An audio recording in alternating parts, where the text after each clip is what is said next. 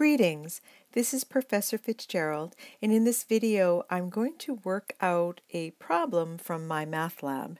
Now, this is one that was sent by one of your classmates and it says suppose that eight turns of a wire are wrapped around a pipe with a length of 60 inches and a circumference of 4 inches so that the wire reaches the bottom of reaches from the bottom of the pipe to the top.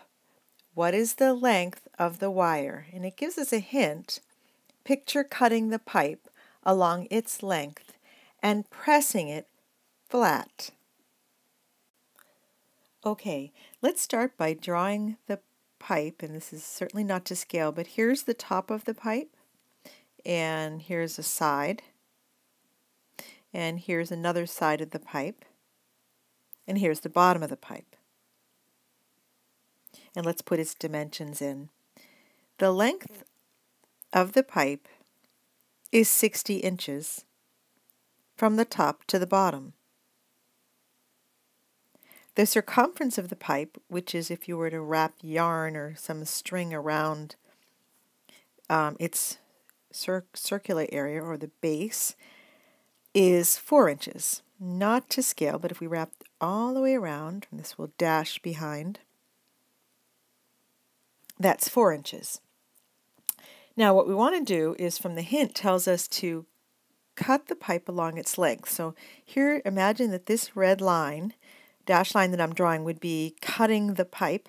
And so we cut the pipe and then we take the pipe and what we're going to do is we're going to cut it right along this line and then we're going to stretch it out. So let's do that.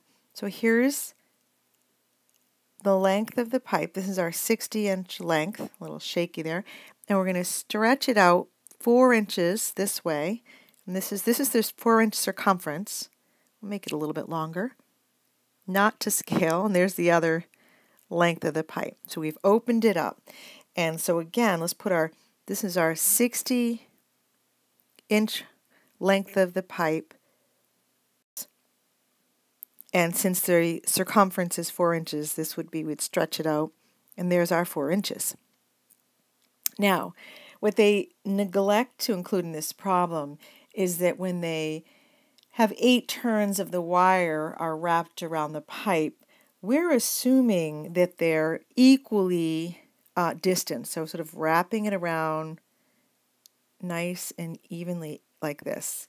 They're equally distant wrapped around. So there's three, four, five, six, seven, and one more. Imagine they're equally distant. So to have them equidistant, we are going to have to take this 60 inch length and divide it by 8. Okay, so if we divide 60 by 8, we get 7.5. So let me put a little guidelines and imagine we'll cut this into eight sections, for example. So here I cut it in half. I'm going to cut it in half again. So now I have four sections.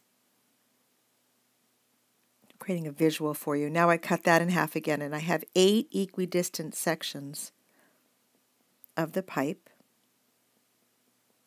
And this is what it would look like if we wrapped it, wrapped the, um, opened it up after we wrapped the wire around.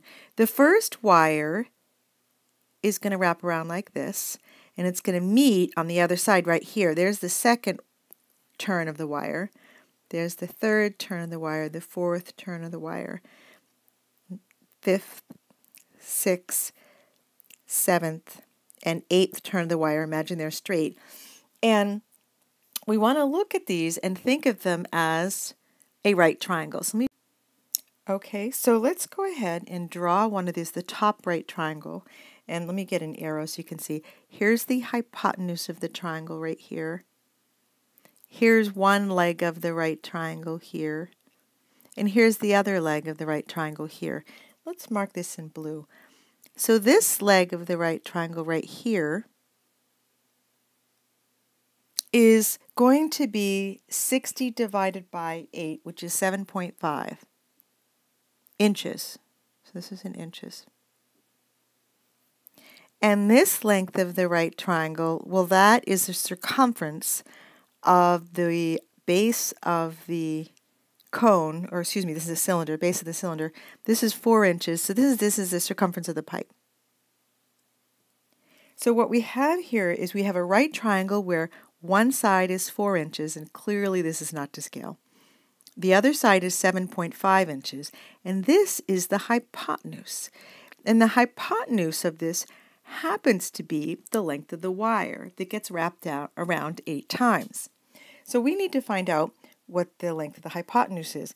I'm going to call it x. So here's x, the length of the hypotenuse, x.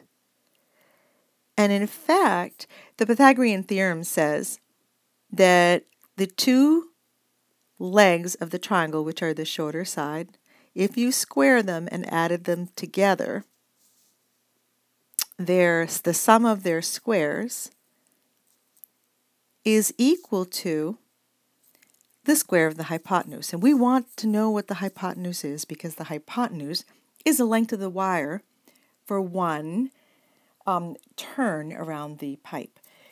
So if I do this, if I square, take 7.5 and I square it, I get 56.25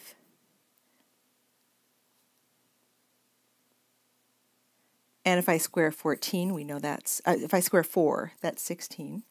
And this is equal to x squared. And if I add 56.25 to 16, I get 72.25. And that is what x squared is equal to.